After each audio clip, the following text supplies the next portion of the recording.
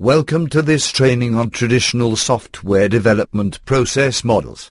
A software development process model is also called software lifecycle.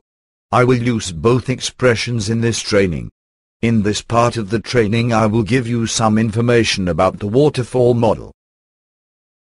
The waterfall model is believed to have been the first process model which was introduced in software engineering. Originally the model was presented 1956 in a conference by Herbert D. Benington.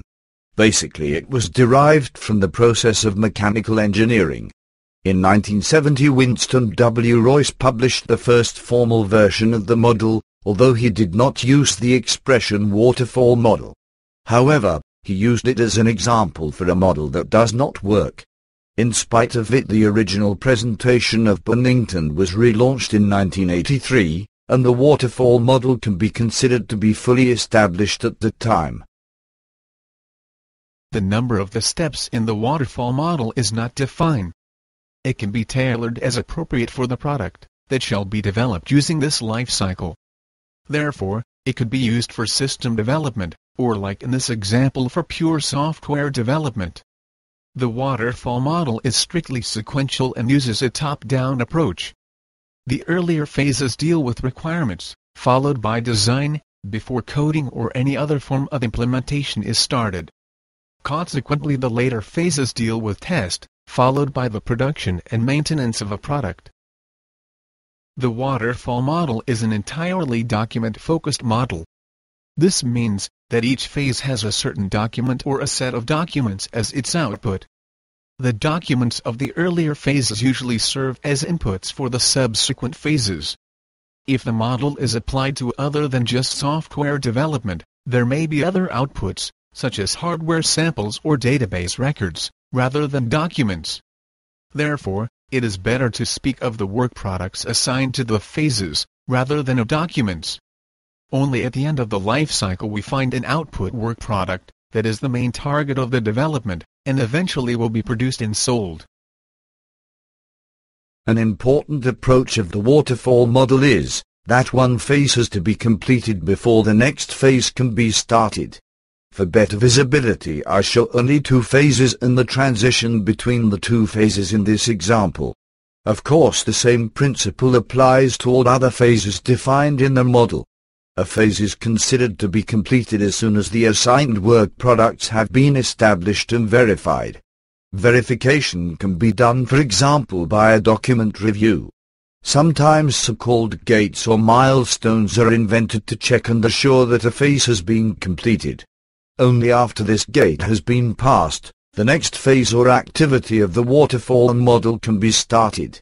Passing a gate can be for example a decision meeting or management signature.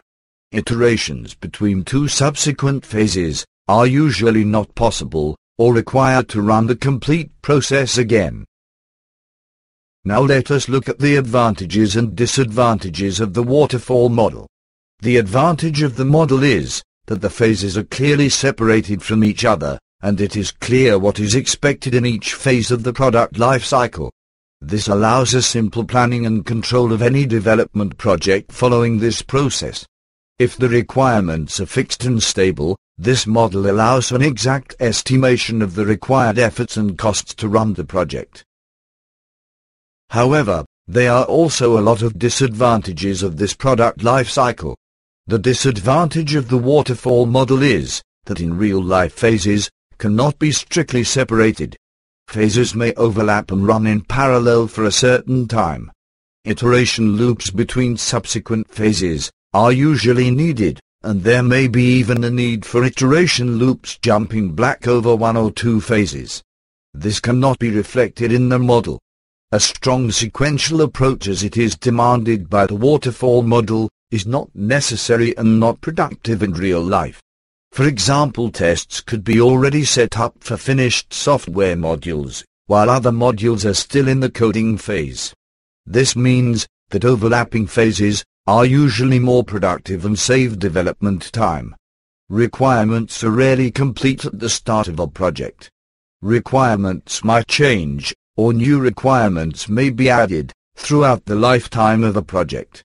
Following a strict waterfall approach this would mean to restart at the beginning of the product life cycle, each time requirements changed. Errors in the new product are discovered very late in the testing phase. Bug fixes would require the project to run through the complete product life cycle again. The product is available late. There is no chance to deliver a product sample until the end of the product life cycle is reached. This requires a lot of patience from your customer. The danger is that the product is outdated at that time, or that the customer does not accept it, and the development has to be started all over again. When the model was first presented by Benington in 1956, the world of computing was very different to what we know now. Programs were very small, and what you could expect of a program was very little sorting punch cards, adding a few columns of numbers, printing the results or punching some other cards as a result, was the usual job a program had to do. The programs of 1956 can be hardly called software, if you compare it with today's millions of code lines in modern programs and operating systems. The following film may illustrate the way of computing in the year 1965, which is nine years later than the first presentation of the waterfall model. It shows a PDP-8 computer, using a paper tape that contained the program. This was a high-end machine at that time, and it shows how computing was still a lot based on mechanics, the discipline from which the waterfall model was originally derived. Therefore, Benington's waterfall model has to be regarded as purely academic. The innovation was, that the first time software engineering was divided into separate phases, like a requirements phase, a design phase, implementation phase, and so on. Just the same, like they did in mechanical engineering. However, the demands of the time for a process model were so small that the waterfall model remained basically without attention for many years. As programs became bigger, the need for a better requirements phase, some more thoughts on the design, and better testing, were needed. Programmers found it more and more difficult to keep an abstract of the program in their mind, and transfer it into code. Also the thought of having a separate testing phase performed by dedicated testers evolved between the late 1960s and 1970s. The different phases of software engineering were identified, and the waterfall model was at hand and therefore came in fashion although it already was outdated at that time. We should not forget that in 1970 Winston W. Royce considered the waterfall model as unsuitable and not working. The use of the waterfall model may still have some justification for projects that are small and where requirements for the project are clear and stable. The waterfall model is still used to visualize overall product life cycles although you will rather find a chevron type of visualization than a cascade. This is simply because a chevron diagram is very common and in the same way sequential as a cascade would be. This use of the model still makes sense. As shown in this example, the life cycle of a product can be split into several bigger phases, like a business case, a concept and prototyping phase, a design phase, aimed at maturity for series production, and finally the production itself and the subsequent maintenance phase. Each phase is clearly separated from each other, and responsibilities will change between disciplines and departments of a company, from one phase to the next. It is easy and even necessary to establish clear rules for the handover of intermediate work products, and have gates for completeness checks between the individual phases.